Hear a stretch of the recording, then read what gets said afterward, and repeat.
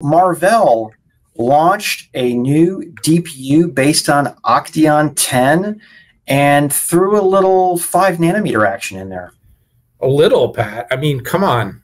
That is the news. I mean, you know, the company basically invented the DPU. I, you know, there might be some argument here. Wasn't necessarily the fastest to get the the marketing nomenclature correctly, but in terms of doing it, uh, Matt Murphy, another great uh, part of our Six Five Summit this year, CEO there, has turned this company around. We've talked about that here. In fact, watch the session. We really talk about it there.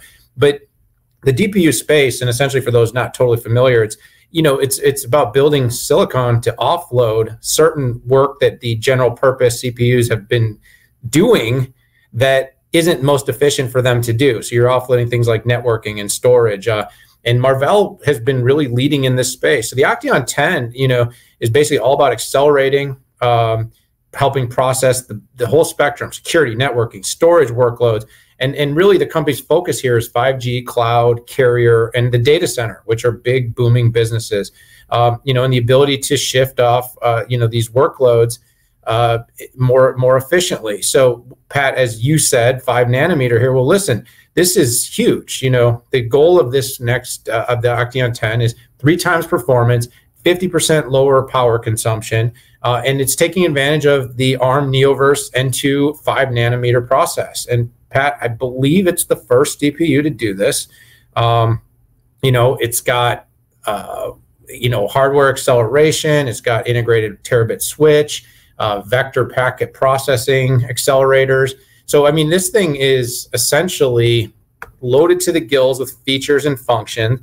And as I see it, and I'll say it, Pat, the thing that gets me excited is Marvell continues to push the envelope here. They're pushing the envelope. They're challenging. You know, uh, I'll give uh, Jensen Huang, another guest of our event, by the way. Everybody came to the summit, Pat. You know, a lot of credit for for nailing the architecture of the DPU, but I want to also give Marvell a lot of credit for actually building these products, getting them into market, and being side by side with these big silicon makers, these cloud providers, 5G, automotive, building what is necessary to make our CPUs more efficient and just understanding exactly another company that, by the way, understands exactly where they belong, is building out products and services to win there. And that's why I was so excited. I was so excited, in fact, Pat, that I actually gave Marvell a quote in their press release this week about the Octeon 10 launch because, um, and I don't just give those away you know, I've got to be really excited. And I really think the company is nailing it in this DPU space.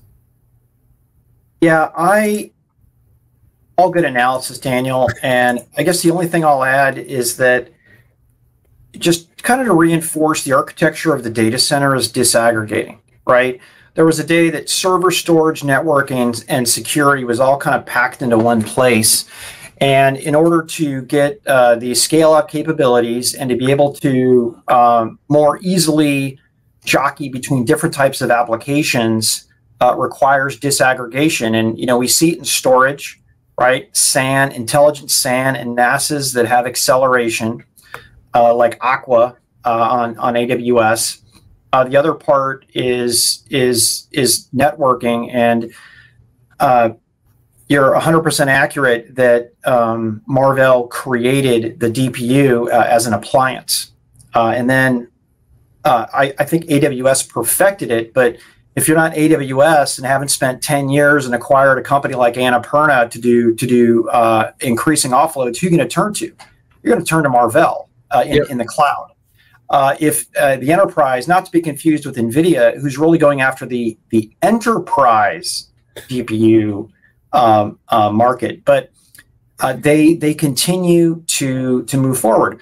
One of the things, like you said, that didn't get enough uh, credit was this is using TSMC's five nanometer uh, process and also uh, ARM's uh, latest um, server chip, which you could run general purpose on that from a spec standpoint. Right now, at least on paper, haven't seen this yet is higher spec than than any chip from Intel or, or AMD. Now, this is not supposed to do general purpose computing. I understand that because it's a DPU, but uh, way to put a massive compute engine uh, uh, on the edge, and I'm I'm looking forward to hey beyond maybe uh, security, uh, DNS or or or things uh, like that. What else could they uh, do here? Well, I mean they did add their own unique machine learning engine, which which is, is is pretty cool. But anyways, great stuff. Great chip analysis here. Gotta be love chips.